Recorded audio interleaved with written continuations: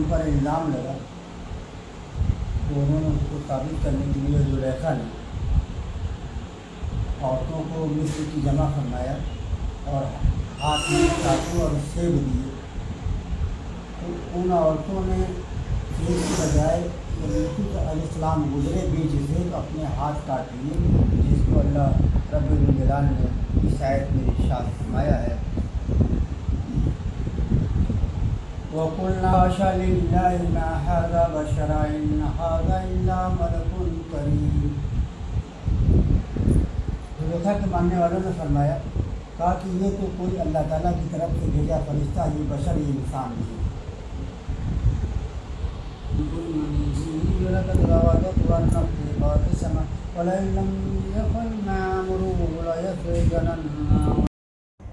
सब्र का ताल्लुक सिर्फ़ खामोशी से होता है जिसका शोर सिर्फ़ अल्लाह ताला जानते हैं, बेशक। अस्सलाम वालेकुम उम्मीद करती हूँ आप लोग खैरियत से होंगे, अच्छे होंगे, मज़े में होंगे। अल्लाह का शुक्र है, हम भी अच्छे हैं। तो घर में बच्चों को आज बहुत डांट पड़ने वाली है क्योंकि वाली साहब बहुत नाराज़ हैं। बच्चे नमाज़ नहीं पढ़ते हैं। नमाज़ पढ़ते हैं पर पाबंदी से नहीं पढ़ते हैं।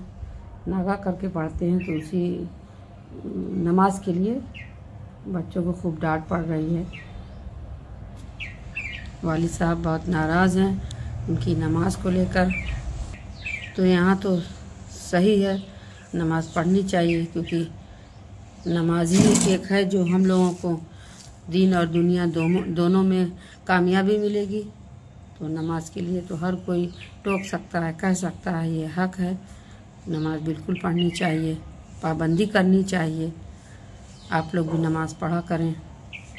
मरने के बाद यही नमाज़, इबादत, दुआ, कुरान हमारी काम आएगी। सब कुछ रखा रह जाएगा दुनिया में ही। धन, दौलत, सब कुछ रखा रह जाएगा। सिर्फ़ यही काम आएगा। और लिया दिया खैरात, ज़क़़त और मोहब्बत, अखलाक, यही सब काम आएगा। तो आप लोग भी पढ़ा करें। तो आज बच्चों की खैरियत नहीं है। वाली साहब बैठे हैं। देखें। सुबह बड़ी मस्जिद से नमाज़ पढ़कर फजर की आए हैं। और तिलावत भी हम लोग दोनों लोग साथ ही में किए, नमाज़ भी पढ़े जुमा है, माशाल्लाह। तो यहाँ छत पर आए थोड़ा हवा भी है, नीचे बहुत गर्म था और धूप हो गई है, लेकिन यहाँ बैठे हैं, देखा अखबार भी पढ़ रहे हैं। तो अपना सब काम, नमाज़, इबादत करके अब अखबार पढ़ रहे हैं। तो अभी गुस्से में हैं, जाएँगे, बच्चों को नीचे डांटेंगे। तो आप लोग बने रहें हमारे साथ, सपोर्ट करें। मेरे चैनल पर नए हैं तो सब्सक्राइब करें, लाइक करें, शेयर करें, बेल आइकन बटन दबाएँ। और ये सब कुछ करने के लिए बहुत बहुत शुक्रिया। मेरी वीडियो का वॉच करें। तो आज जुमा है। जुमा आप सबको मेरी तरफ़ से बहुत बहुत मुबारक हो। अल्लाह पाक आप सबकी जुमा का दिन है। दुआएँ पूरी करें। आमीन। जो भी मस्जिद जाएँ और जो भी औरतें घर में नमाज़ पढ़ें अल्लाह पाक जिसकी जो भी मुराद हो अल्लाह पाक उनकी मुराद उनकी दुआएँ अल्लाह पाक पूरी करें। आमीन।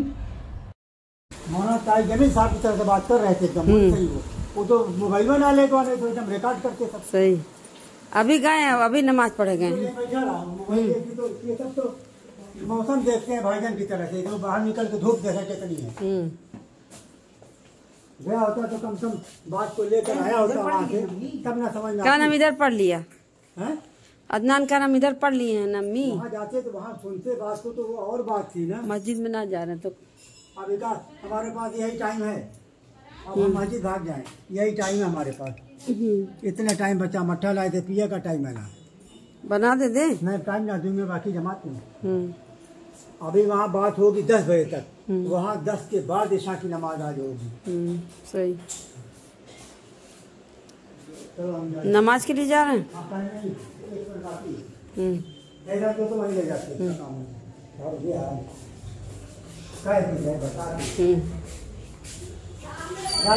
तो तो दीपा दिखाई के लिए आए पर उबैर से?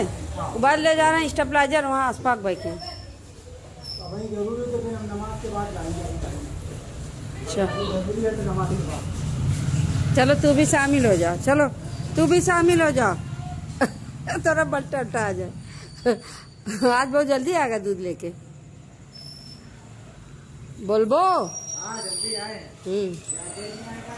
हाँ नहीं, बहुत अच्छा टाइम आ रहा, बहुत बढ़िया, एकदम खाने के बाद तो आ जा रहा। ये आ गई है ब्रेड और ये आ गया है मठा। चलते हैं और ये दही इसको हम फ्रीज में रख देते हैं। और ये भर गई है हमारी सब फ्रीज की बोतल।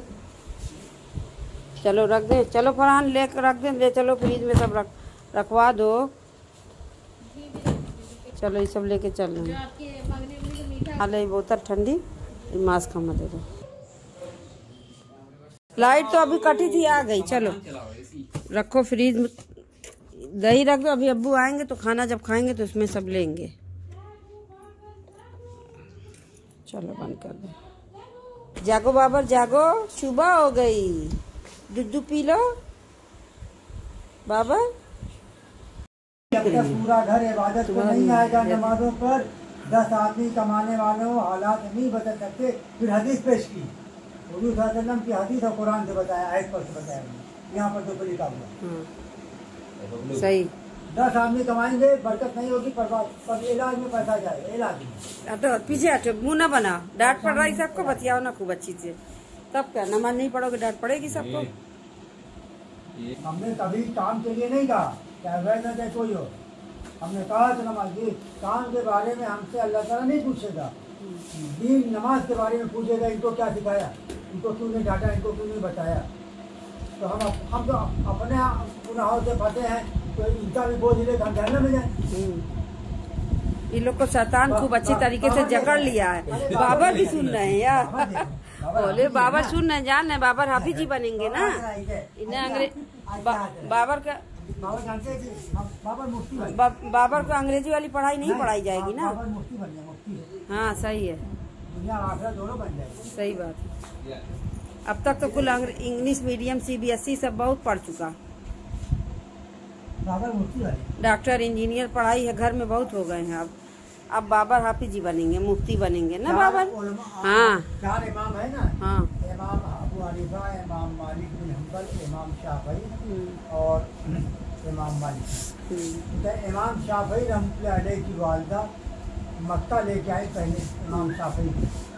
उन्होंने वहाँ कुरान का हाफिज किया हाफिजा करने के बाद फिर मदीने आए। तो वहाँ ईमान मालिक हम्म। मस्जिद नबी में दर्ज देते थे तो इमाम शाफी अलैह मस्जिद नबी तो बताऊँगा, अब कमाने का यतीम थे इमाम शाफी इनके पास कमाने का कोई ज़रिया नहीं था।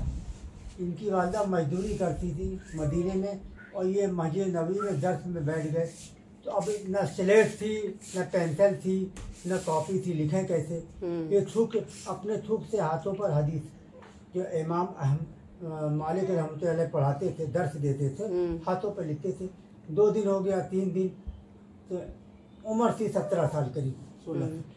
तो इमाम मालिक रहमत ने कहा कि मेरे दर से तुम चले जाओ तुम खिलवाड़ करते हो ये ऐसे लिखा जाता मज़ाक करते तो रोने लगे उन्होंने कहा कि मेरे पास कुछ नहीं मैं यतीम हूँ मेरी वालदा मजदूरी करती मेरे पास कुछ स्लेट और पेंसिल और इसके पैसे नहीं है। हम्म, तब वहीं बैठने लगे। अपने ज़माने के बड़े आइमा अरबा में शुमार है उनका इमाम शाफी और रहमतुल्लाह अलैह का। तो ऐसे पढ़ाई की थी। ऐसे नहीं पढ़ाई होती क्या नाम है कि हम दुनिया भी हासिल करें और आखिरत आखिरत को पहले रखना होगा। हम्म, दुनिया तो उसके पीछे तो तो अल्लाह का वादा है कि हम तो तुम्हें खिलाएँगे। उमा बिन दाबतिन रिस्क हुआ हर जानदार का रिस्क अल्लाह के जिम्मे है बरहमे पारे के शुरू में। हम्म, तो अल्लाह का वादा दीन का जिम्मेदार हमें बनाया है, दीन के कामों का इबादत का। हम्म, तो चलिए फिर वीडियो को यहीं पर एंड कर देते हैं। वीडियो को लाइक शेयर करें और दुआओं में याद रखें अपना बहुत सारा ख्याल करें। तब तक के लिए अल्लाह हाफिज़।